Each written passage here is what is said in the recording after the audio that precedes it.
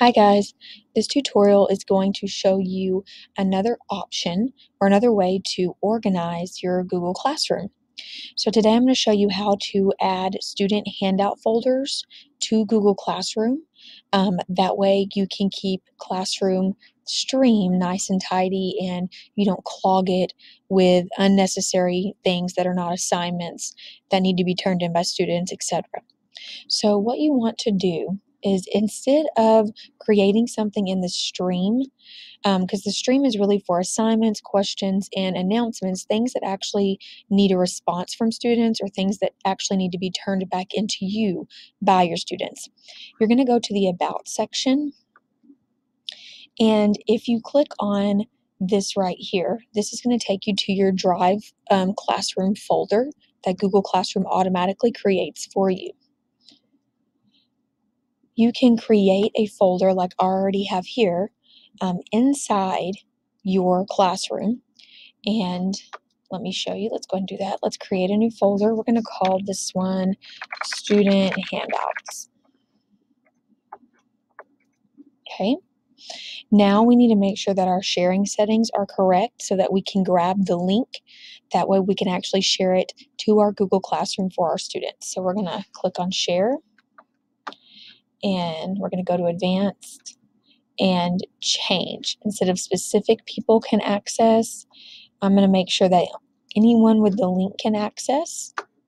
I'm going to leave mine as view only, but if this is something that you want your students to be able to add items to, edit items within, or maybe organize it, then you would click on this. But I'm going to leave mine as view only because these are just handouts that students would need to view.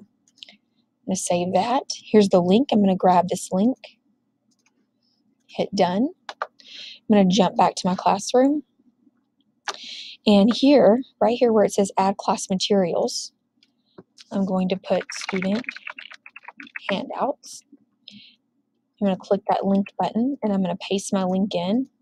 I'm going to add the link and post.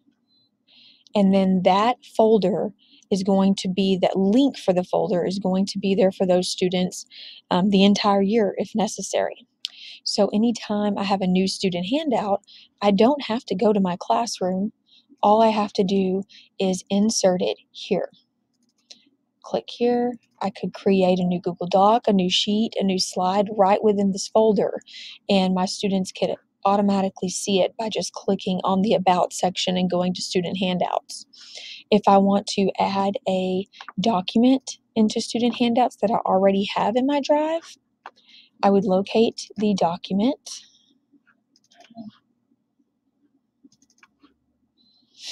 Let's use this one. And I don't want to move it from my other folder. I actually need it in this folder and in my Google Classroom in two separate locations. That's the way I want to do it. So I'm going to click on it and click Shift Z. And this is going to pop up showing me that I can move it with or make a copy of it without actually having to move the whole document. So I'm going to find the correct folder here and make sure I put it in my right class. And I'm going to make sure I put it in the right folder, student handouts and I'm going to click add here. Now when I jump back to my classroom folder,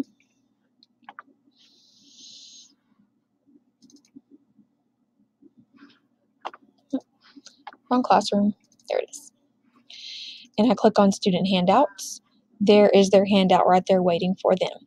So now my about section, I could put a syllabus, weekly homework, weekly newsletters, student handouts, things that they need all year round.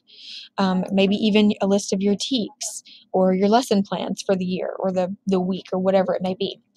I can post those in the About section by adding a link to your folder without actually having to clog up the mainstream.